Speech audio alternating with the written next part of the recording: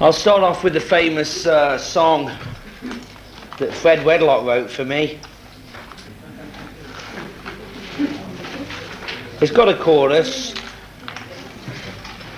Uh, unlike most chorus songs, the chorus in this one becomes in front of every second verse. I'm only doing this because I know I know this one.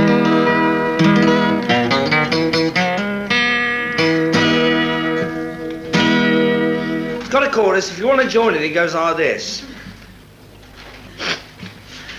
For Robin was a bloke and he owned many bows, kept them all nice and clean. And he died in his prime at the age of 99 with a nasty case of eyeball gangrene.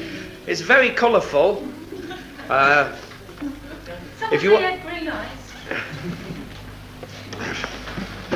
They play, there's a dance match going on downstairs. It's fantastic. Have you ever seen him play? Fantastic. I was in the other bar and I could hear him yelling out numbers like uh, 564, 983, 862. And I said to the landlord, what are they doing in there? He said, playing darts. I said, bloody hell, how do you get darts? I mean, you can't score them sort of scores throwing darts. I said, you can do if you throw hedgehogs.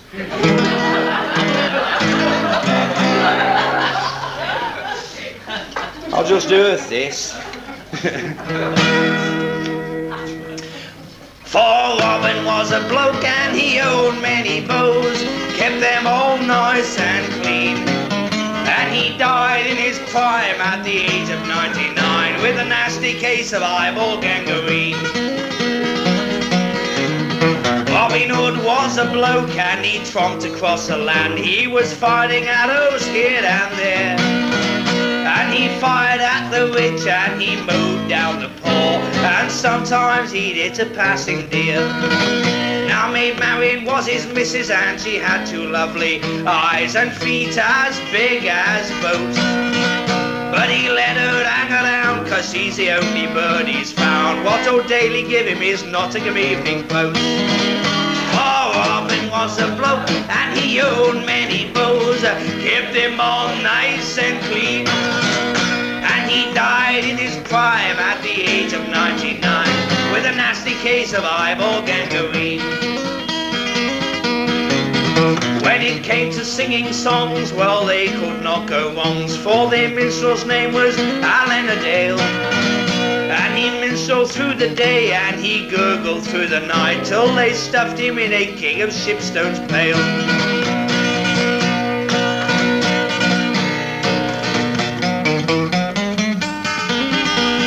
Friar's name was Tuck and he didn't give a damn. He never helped them when they had a fight. No, he never helped them, Hunter. He was a lazy friar. He just sat boozing day and night. For Robin was a bloke and he owned many bows,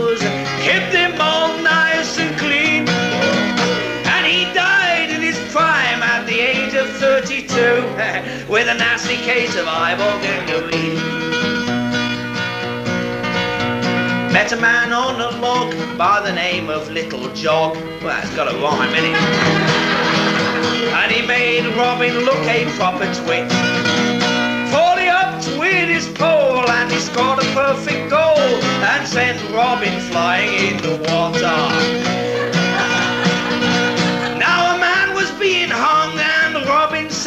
Wrong, we'll put a stop to yon execution, he said. So he loaded up his bow and he let his adder go and got the poor bugger through the head. For Robin was a bloke and he owned many bows, kept them all nice and clean. And he died in his prime at the age of 99 with a nasty case of eyeball gangrene. As long as the world is here, and as long as blokes drink beer, and as long as two and two equal five, and as long as clipper ships keep on smuggling cannabis pips, the name of Robin Hood will stay alive. It will bounce across the land, be passed from hand to hand, his deeds exaggerated by the gross. They will glorify his name,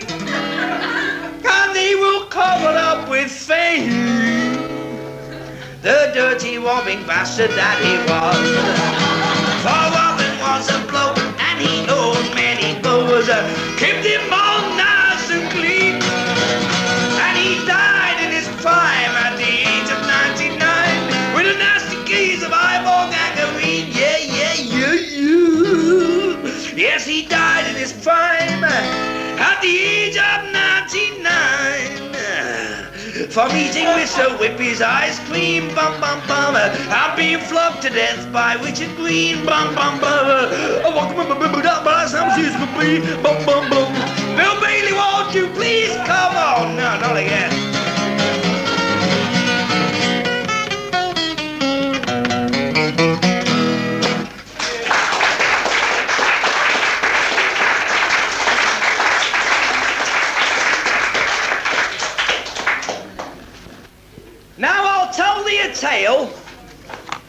Of a biblical bloke, an eerie great brute of a man.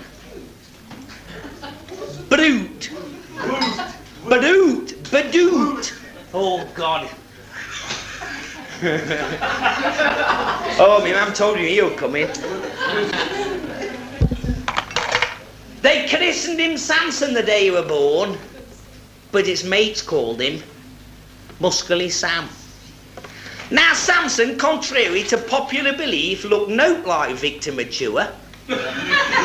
Because Samson had muscles, what bulged out in places where Vic had no places at all.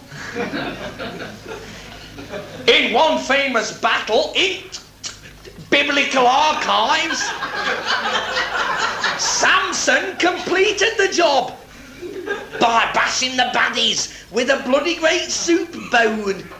Twas a bone from a jackass's gob. He swung it, he flung it, he heaved it and cleaved it. And never stopped once for a breath. And due to the fact that the bones still had teeth in, he literally bit them to death. Now, after the battle, his 10% agent spoke to the press in the square and made up the tale that the strength of Sam's muscles was due to the length of his ear. So the baddies decided to make him a skinhead and make him all timid and weak because the armies were striking rather than fighting this bloody great muscle-bound freak. So Delilah, concealing a large pair of snippers, invited him up to her bed. But instead of them leching or looking at etchings, she locked all his locks off instead.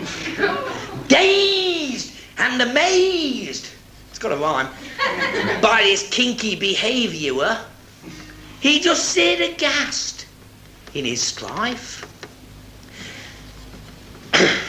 then the door burst open, the baddies rushed in with a big book before them saying, Samson, this were your life. now these what wads now, anybody that don't come from Nottingham, I'll translate that. What that actually means, uh, now these what wads, what galvanised Samson. And though he were too weak to fight, he collops the columns what held up their pad. In an outburst of muscular might. With a deafening crash of balsa wood rafters.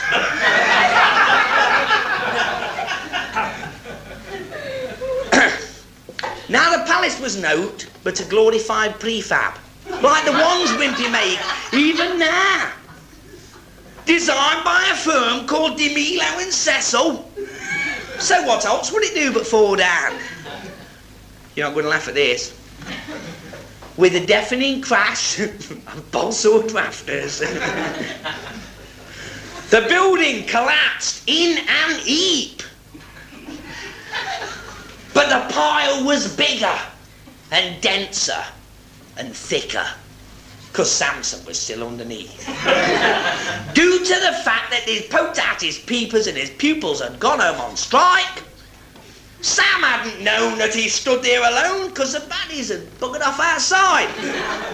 so ends the tale of Muscly Samson, destined to live till he died. Proving that brains were no match for brawn. Well, at least the daft bugger tried. right.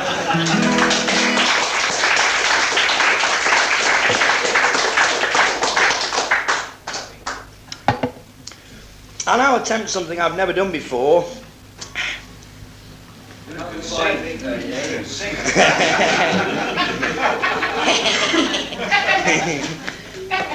I'm going to do a, uh, a blues. Surprise! This is a very well-known blues. It uh, tells a story of a cowboy that was galloping madly one night over the desert looking for his horse.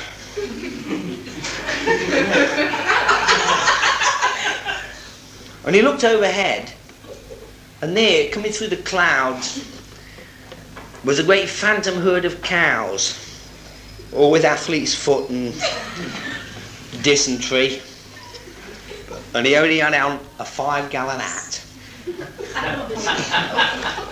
now, this song comes under the classification of a Browns.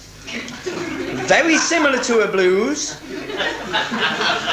but with smellier chords. I will attempt what I'm going to attempt, and if I can't, I'll go into what I know I can attempt.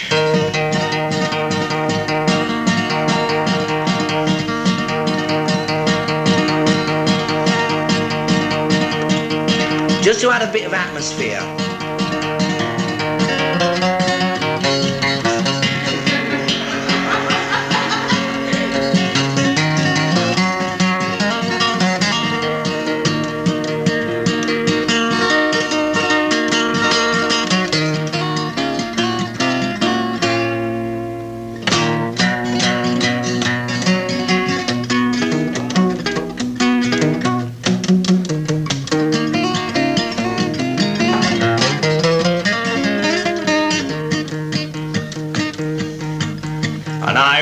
Went walking out one wild and windy day.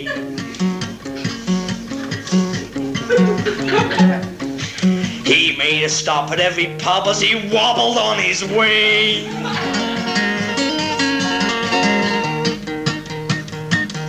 When all at once a mighty lump of red-eyed cow he saw halfway down Arkwright Street, slouched against a door.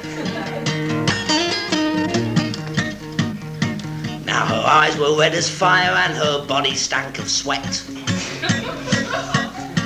and what her bowels could not contain had made the pavements wet.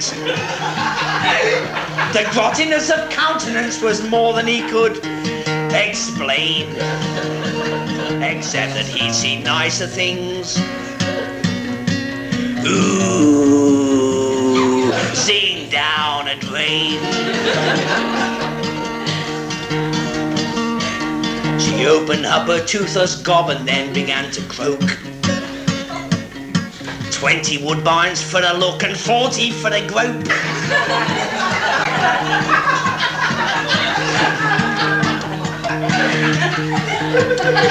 then she cleared her throat and flobbed a glob of something to the earth as they bargained in the putrid air on the value of her worth. She pressed her body up to him to try and raise the price. She bared her up upper to- torso to the client's hungry eyes. The Irishman just stood aghast, amazed by what he'd saw. He'd seen ostrich eggs in bras before. but never ever roar.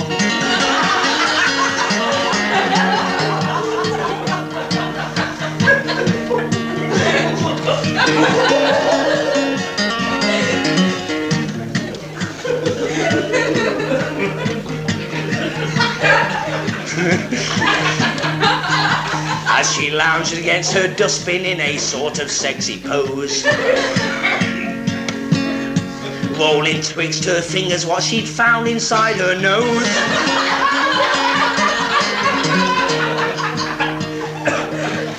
Flicking gay abandon the globule to the sky. But in the dark she missed her mark and glued it to his eye.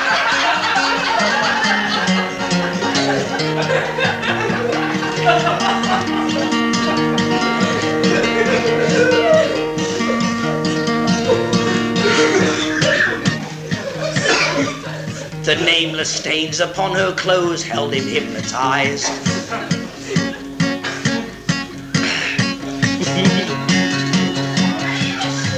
As his sweeping gaze swept across the acreage of her thighs.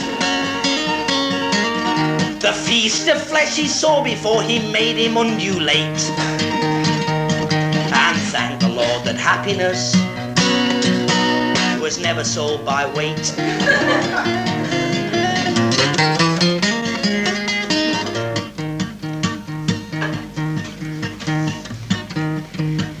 Stared upon her bulging spot so pussyful and ripe.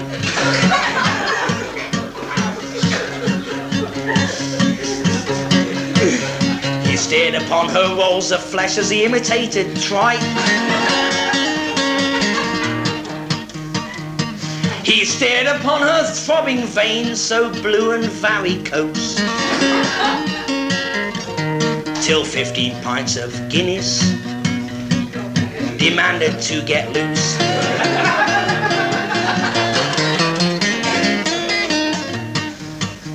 The foam exploded from his throat and splattered everywhere.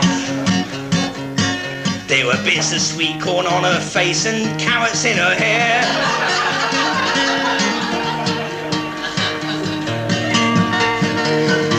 Tomato skins and other things upon her he endowed. She was nothing much to rave about, but she looked quite tasty now.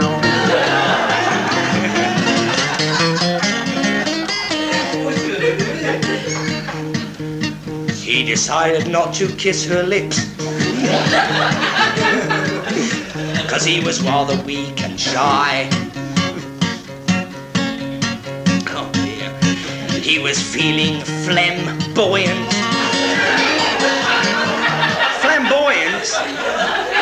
Flamboyant. Is actually a scientific description of a glob of snot in a milk bottle. he was feeling flamboyant and he knew the reason why. He pressed upon her 40 facts and another 40 more. And he said, Well, it were worth it. I've never come like that before. Thank you.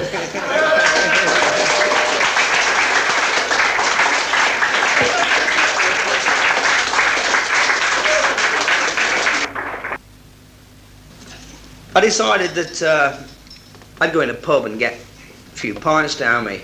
And uh, suddenly this man emerged with a pig under his arm with a wooden leg. And I was only an innocent by wobbler. But what happened?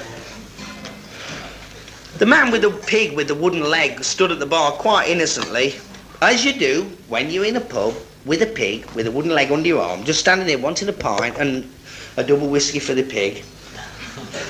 the bloke says, uh, What are you doing in the pub with a pig with a wooden leg under your arm? I said, Oh, whew, my pig. Famous, brilliant pig. The bravest pig in the entire universe. Said, This pig is so brave, I always bring him out for a drink with me. Said, Well, what good is a pig with a wooden leg? He said, You don't know how brave this pig is, honestly. This pig, when I first bought it, in the first week the house burned down, This pig hurtled through into the burning wreckage, grabbed all my family that were overcome by smoke and fumes, dragged every one of them out, the kids, the 45 neighbours, the lot. Dragged them all out onto the front lawn, went in, got the coloured telly, the video, all out on the front lawn, and stood guard over it and saved them. Said, yeah, but I mean, a pig with the wooden legs a bit much. Yeah, oh, yeah, but you don't know how brave this pig is. He said, a couple of weeks later, when we were going down Trent for a walk, said, uh, this boat full of old age pensioners went down. All old age pensioners drowning and gasping in the sewerage, going down. My pig didn't think twice jumped over Trent Bridge, into the water, swam up, rescued every one of them, dived down time and time again, risked his life and saved every old age pensioner, dragged them to shore, gave them artificial respiration, went out got the luggage, got that ashore, the lot. Very brave, this pig. And I said, yeah, but uh, pig, I mean, what good's a pig with a wooden leg? He said, oh, well, let's put it this way, man. If you got a pig this bloody brave, would you eat it all at once? Anyway.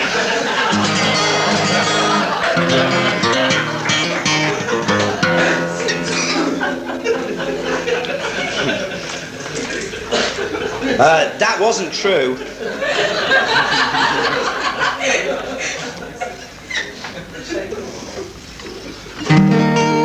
I'll give you a blues. Uh, now, a blues is a soul that, uh, a song that is sung from the soul, which is a, a romantic area just behind your guts, and and when you sing a blues, it pours out. I mean, there's different sorts of blues. There's a West Bridgford blues. There's a Southern Delta blues, you know, East Bridgford.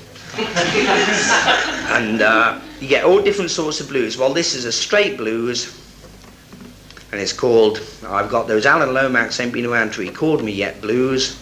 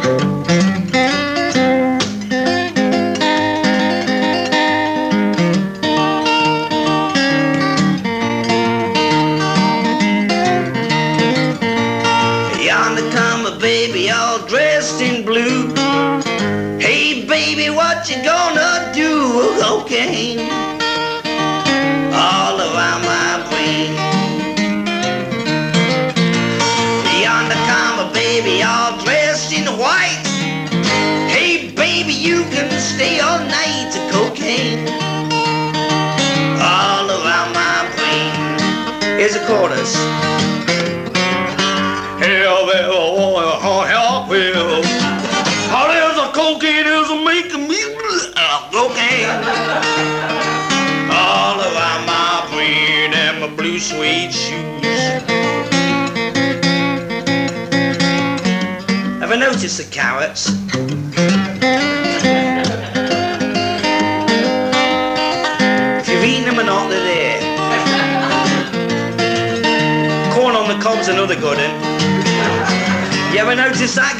Metamorphose. Comes out looking like a picnic bar. Never changes its shape, you crunch it up how much you like in your teeth. You never actually puncture the bag, it comes out refilled and ready for another go. Ain't got quite the same flavour second time around I believe Second verse coming up. So it's gone down again.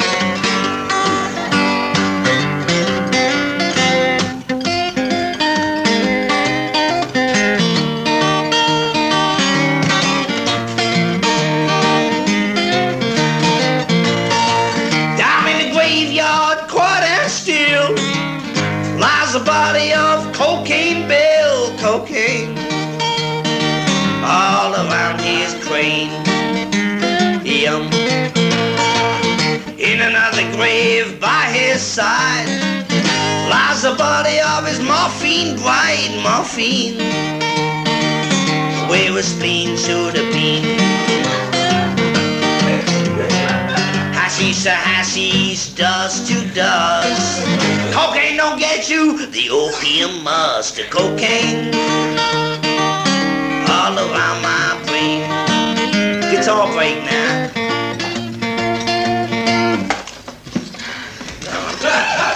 Swedish crap.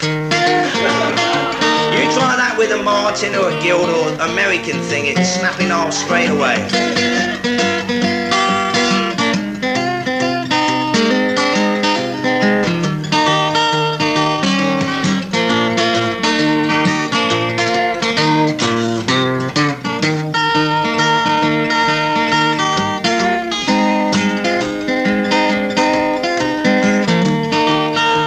Holiday in Spain.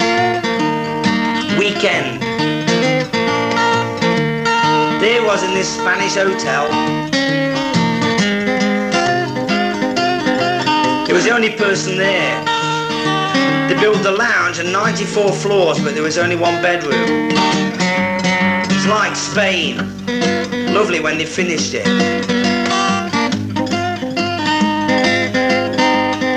And he was sitting there one morning waiting for his breakfast to show up, and this greasy little thing come along and said, Here is your breakfast, senora. Handed him this bloody plate with this dried up horrible cob on it. He said, What's that then? I said, That is your breakfast, senora. He said, Well, with the money I'm bloody paying for this offal, I want something a bit better than that, youth. So I said, Ah, we bring you the specialty of the house.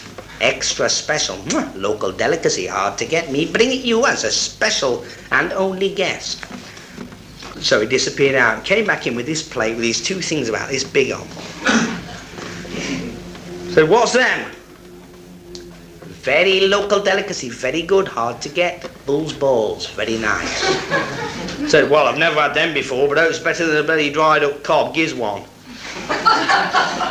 So I got the knife and sawed the first one in half. Got a gobload. Mwah. Hey, they were fantastic. I said to him, I want these every day from now on while I'm here. They're great. So every day for breakfast, he came on with his plate with these whopper great thingies on. Got him down there. Last day, the Friday, came in, lifted the little tin thing off. Inside there were two things about that big, and I said, "Hey, up, hey, up, what's going on now? Trying to con me, are you?" I said, "All week I've been having the real things, and now this." I said, "What's a crack? What's going on?" And the bloke said, "Well, senor, sometimes a matador he loses."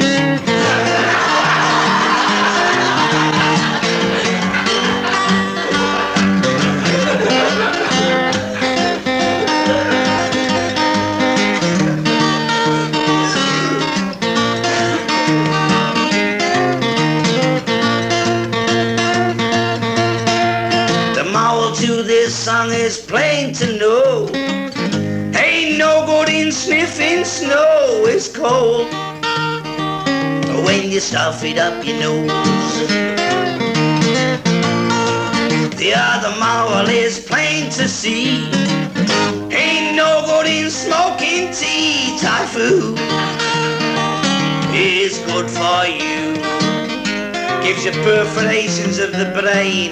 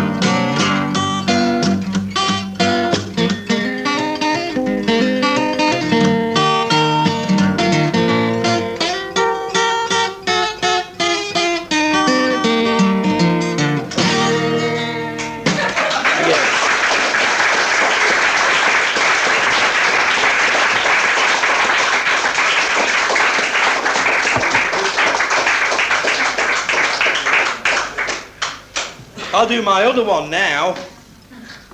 Um, this is also a sort of a blues.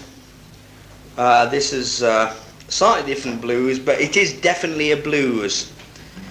You can tell it's a blues because it contains both words, yes and babe.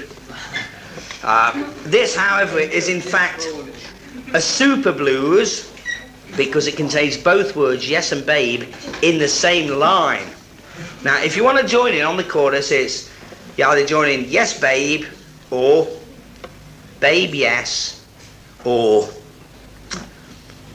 however else you can do it. This is the well-known blues, and that's ish.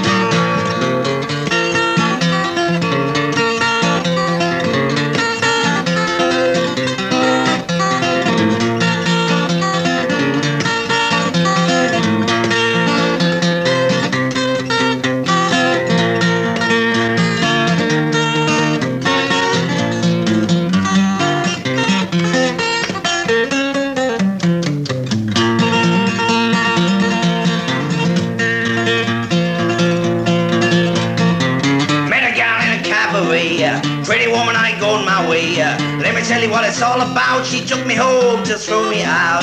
Hit my head, split my chin. Catch around here again. In through the kitchen, out through the door. Hit me with a chair till my head got blues. That'll never happen no more, no more. Well, that'll never happen no more. Oh, yeah. Forget easy, yo lot. Here we go, second bit. That'll never happen no more, no more. That'll never happen no more. Oh, baby. Ba,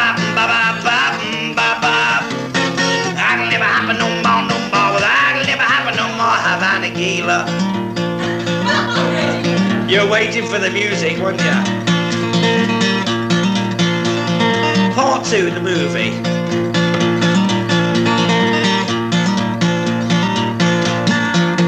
Chicago in winter and fall caused me to wear my overalls. I got sick, it was no joke, eating Smith's Quiz, leaving the salt.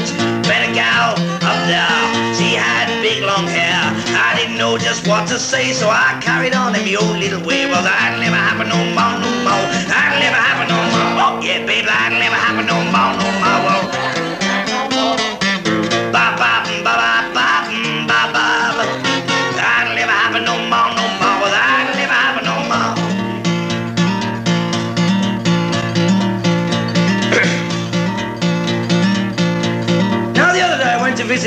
myself in hospital. Because I was sick. But I wasn't because I'm schizoid. Anyway, we're arguing because we're always arguing. No, we're not. Yes, we are. Shut up. You see, we're arguing over something quite trivial. It wasn't trivial. Yes, it was. Now listen. Who's singing this song anyway? Me or me? Me! Right, shut up. Let me go on with them. All right. You see, I bought myself something I didn't like. I hate bloody grapes. But I like them, you see, that's why I bought them in the first place. And I knew that while I wasn't eating them, I could have one or two. And I knew that's what I was going to do, and I thought it was a bloody dirty trick to plough myself. So I kept watching me so I couldn't. And I was sitting there watching myself so I couldn't while I did, even though I didn't while and all that. Or to cut a long story short, snip. Noticed a poor Oriental fellow in the end bed, not being visited by anyone, not even himself. He was really sick, you know. I said, shall we go and visit him? I said, all right. So I walked down the aisle, arm in arm, which took a lot of practice and we stood each side of the man's bed, which took a lot more practice. might have been here for something. And we said to the man, in stereo, Are you alright, lad? And he replied, Yeah, I'm at a hole.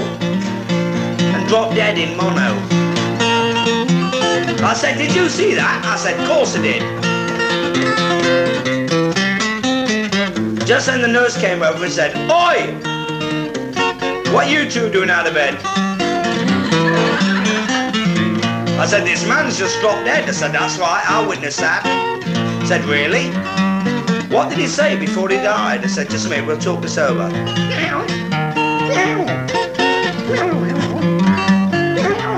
Who's he? I don't know. He said, yeah, I'm a hoo I said, well, what does that mean? Well, I didn't know, neither did I. So I went down to a Chinese restaurant, looked on the menu, and when we finally established he hadn't starved to death, went to the Chinese embassy, knocked on the door, out come a China and said, Hello, English pig. Excuse me, sir. Can you tell us what Yamataho means? Said, certainly. Roughly translated, it means you are standing on my oxygen tube. I'll never have no more, no more. I'll never have no more. Went to a party the other night. I was stoned, I was feeling alright. I drank a reefer, smoked some gin, waited around for the fun to begin. Came a girl up to me, said, man, let's make whoopee. Well, I woke up in an empty bed. My pocket's empty, got a penny, man. I'd never happen no more,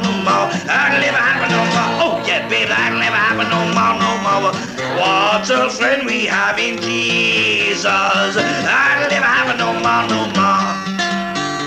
Walk with my baby down by San Francisco Bay.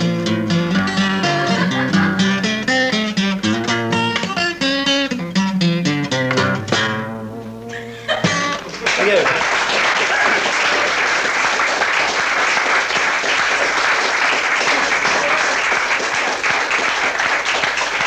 side of the room. I'll give you my methods. I mean, I think you ought to liberate the farm as well. okay. Methods.